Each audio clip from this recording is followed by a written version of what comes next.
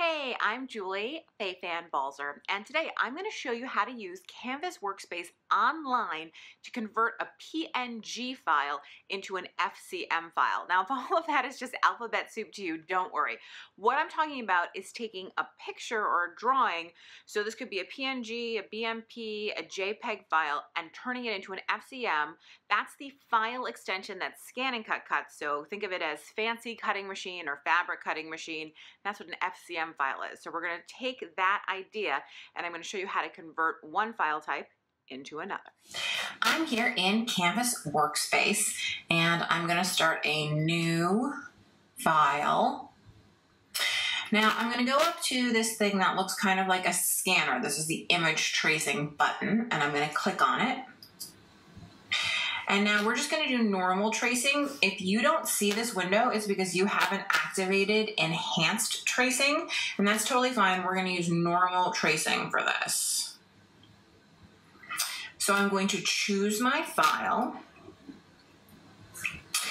And you can see I downloaded some cute little gift boxes here. So I'm just gonna go ahead and open one. And you'll see here that you can use JPEG, GIF, PNG files or BMP files for this process. So those are the only ones. You can't use PDFs, you can't use EPS. It has to be one of these four file types. Then you can see that you have the options here for tracing either outline or color. So outline means that it's gonna get just the basic outside edge of this. So I'm gonna press preview so you can see what that looks like.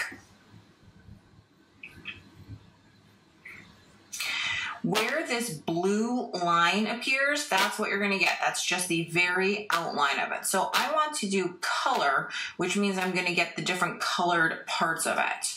So I'm going to leave the max number of colors at five for now just to see what happens, and I'm gonna press preview.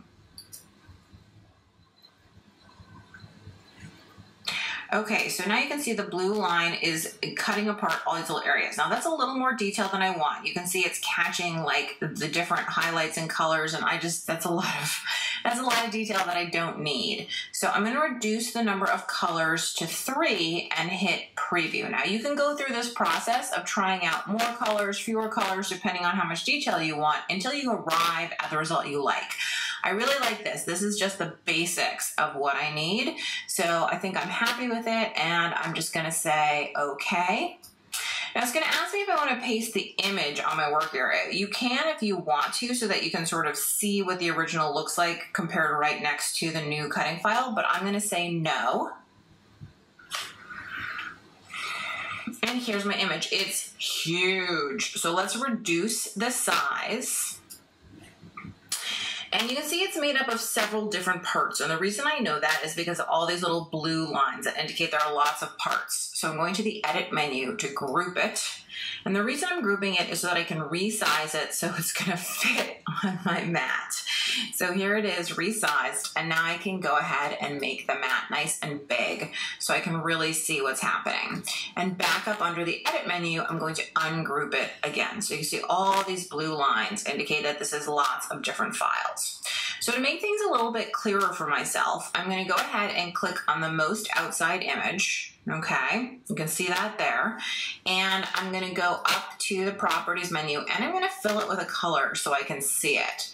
So now I can see the basics of what I'm getting. And this could be enough, this could be all that you want. So I'm gonna pull that out and you can see that we have lots of little bits left over.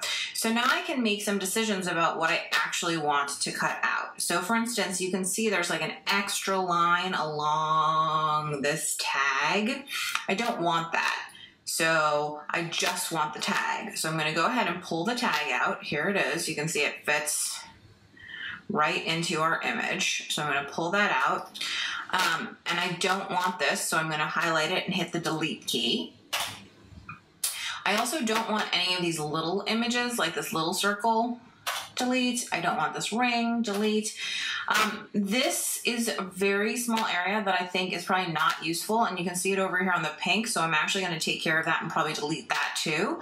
But I'm just gonna click on it right now and delete it. So now this is the ribbon basically, except that it has these inside areas that I probably don't need. So I'm gonna click and delete. click and delete.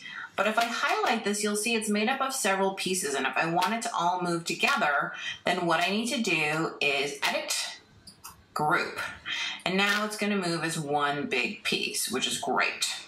Okay, so I have this big piece, I have this big piece, and you can see that they just fit together just like so, right?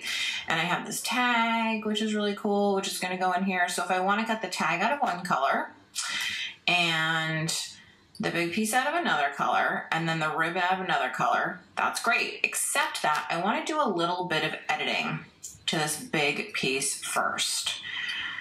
So I can see that one of the things I have is this tiny sliver here and this ring here, and I don't want either of those. So what I'm gonna do first is zoom in a lot. So I'm super duper close on these and I can really see them. Then I'm going to double click. And you can see all these dots come up. I wanna make sure that I have unchecked or rather I've checked this hide control points. So that way, see how messy it looks right now and how it's much clearer once you hide those control points? Then I'm going to click the little blue control point, holding the shift key. I'm going to click all the little blue control points. And now I'm going to go up and I'm going to hit this minus or delete point and now you can see I've erased that shape, which is just what I wanted. So I'm going to do the same thing with this ring. It's not really a ring, this sort of horseshoe shape. I'm holding the shift key and I'm clicking all these little blue control points. And this is going to allow me to delete this shape as soon as I hit the minus or delete points. And now that's gone. So now if we zoom out, you can see it's just a much cleaner file. It doesn't have these miscellaneous little details. So the last thing I'm going to do, because I want to fit everything onto one mat, is I'm going to select all the parts. I'm going to group them. This is just allowing me to temporarily resize everything so it'll all fit on one mat. And then I'm going to ungroup it. And this became ungrouped when I did that. So I want to make sure to regroup it before trying to move any part of it. There you go. So here's one, here's two, here's three. So now I can lay out my paper, my vinyl, whatever it is I'm cutting this out of, and it will all fit on one mat and I can go ahead and do that. So I've sent the file over to my ScanNCut and I'm cutting out the three different parts. Once they're cut, they just need to be removed from the mat and weeded. Um, weeding is removing the parts of the vinyl you don't want. I do have videos both on layering vinyl and on weeding vinyl and on applying vinyl, so you can look for those if that's something that you're interested in. But once I have layered everything up onto a transfer sheet, then I can go ahead and apply this brand new cut file to anything I want. In this case, I'm just using a plain old black piece of paper, but it looks really, really cool. And just remember, it's easy to convert your files over. Thanks so much for watching. For more tips, tricks, and tutorials, be sure to visit my blog at balzerdesigns.typepad.com, subscribe to my YouTube channel, and of course, don't forget about the ScanNCut website at scanncut.com.